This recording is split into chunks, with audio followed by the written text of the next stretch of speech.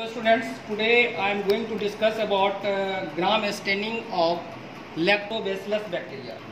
So before I start the procedure, just try to know what are the different chemical utilized for gram staining. This is uh, crystal violet. Okay, so that crystal violet you have to put on the smear part of that bacteria. Just uh, I am going to take a look of uh, the sample curd that is uh, you know uh, just uh, you can make a smear. You can make a smear like that okay? So it will going to put on the glass slide. It is it, it will going it is going to put on the glass slide okay?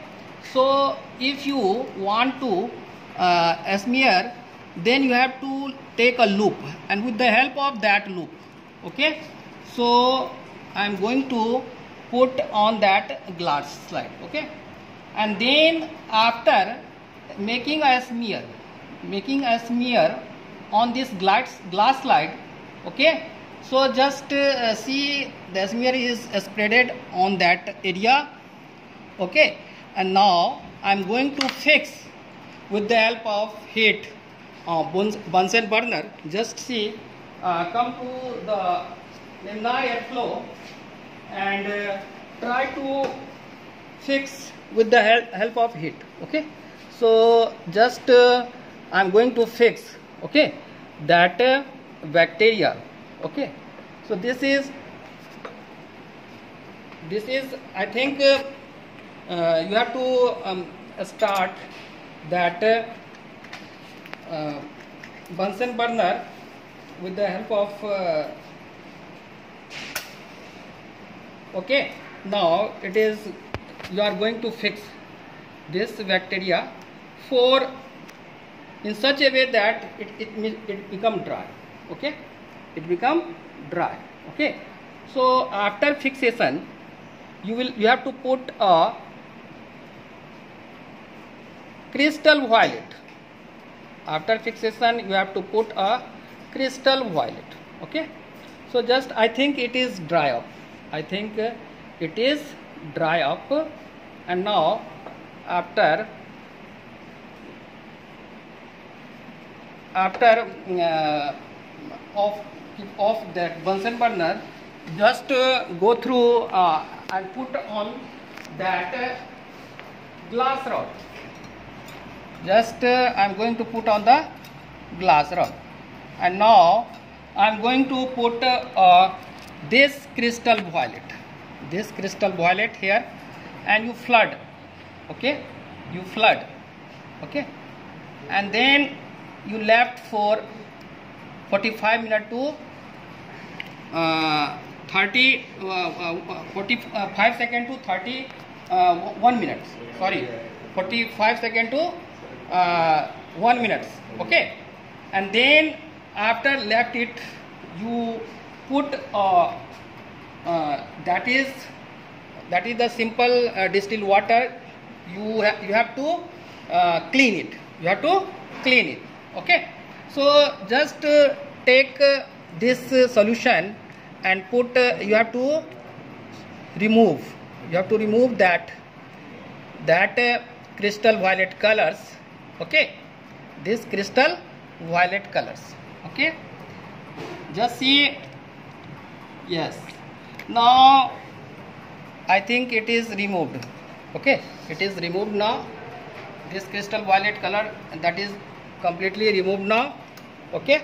Now you have to put uh, a gram iodine. This is a gram iodine solution and you have to put on that smear part smear part of that uh, slide. Just see this is gram iodine.